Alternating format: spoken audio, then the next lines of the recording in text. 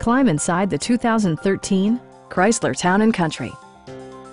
It features a front-wheel drive platform, an automatic transmission, and a refined six-cylinder engine. It's equipped with tons of terrific amenities, but it won't break your budget. Like leather upholstery, adjustable headrests in all seating positions, a blind spot monitoring system, automatic dimming door mirrors, turn signal indicator mirrors, and power front seats.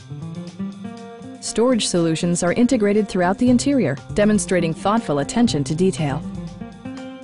Premium sound drives six speakers, providing you and your passengers a sensational audio experience. Rear LCD monitors provide entertainment that your passengers will appreciate no matter how far the drive.